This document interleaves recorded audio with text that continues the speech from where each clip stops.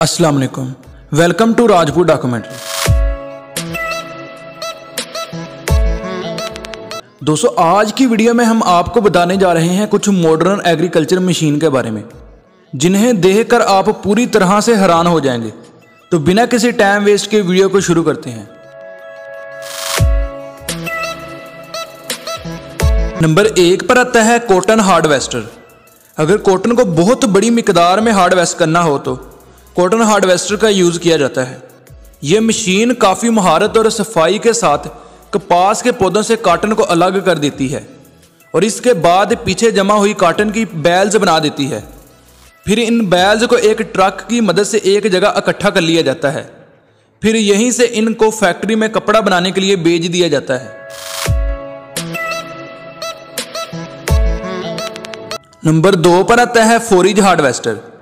ये काफ़ी advance technique की मशीन है। ज़्यादा मकदार में चारे को काटने के लिए इस फोरिज हार्डवेस्टर का इस्तेमाल किया जाता है। चारा काटने के साथ साथ ये मशीन इसे प्रोसेस करके पीछे आ रही ट्रॉलीज में एक थ्रूइंग आर्म के ज़रिए चारे को डालती चली जाती है, जहाँ से इन ट्रॉलीज को डायरेक्ट ही ट्रांसपोर्टेशन के लिए भेज दिया जाता है।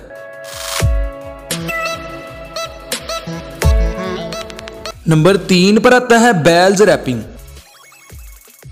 बैल्स रैपिंग मवेशियों के चारे को हिफाजत से रखने का एक शानदार तरीका है।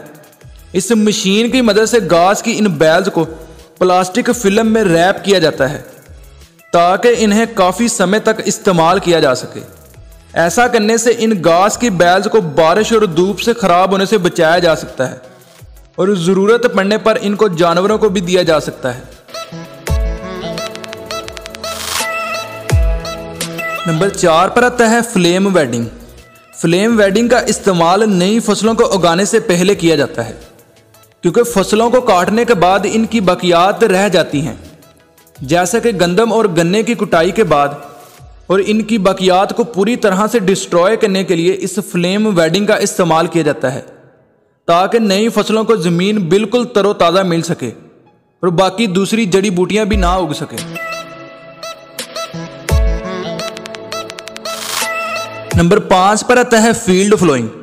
नई फ़सलों को उगाने से पहले ट्रैक्टर की मदद से खेत में हल चलाया जाता है, ताकि नई फ़सलों के लिए ज़मीन नरम हो जाए। लेकिन अगर हल बहुत बड़े रकबे पर चलाना हो तो तब ज़रूरत होती है इस बेहद वजनी और कमाल की मशीन की, जिसे फ़ील्ड फ्लोइंग कहा जाता है, जो कि कई एकड़ ज़मीन को सिर्फ़ चंद घंटों में खोद सकती है। ये अकेला मोस्टर ट्रैक्टर दस छोटे ट्रैक्टर के बराबर काम कर लेता है। तो दोस्तों, आप इन मशीन के बारे में क्या सोचते हैं? और आपको क्या लगता है कि पाकिस्तान में भी ये मॉडर्न मशीन होनी चाहिए? हमें अपना जवाब कमेंट सेक्शन में ज़रूर बताएँ। और अगर आपको इस तरह की इंटरेस्टिंग वीडियो पसंद है तो इसके लिए आपको हमारा चैनल सब्सक्राइब करना पड़ेगा। तो जल्दी से हमारे चैनल को सब्सक्राइब करें, ताकि आने वाली हर इन्फॉर्मेशन वीडियो आप तक जल्द से जल्द पहुँच सके। आज के लिए बस इतना ही। टेक कर अल्लाह हाफिज़।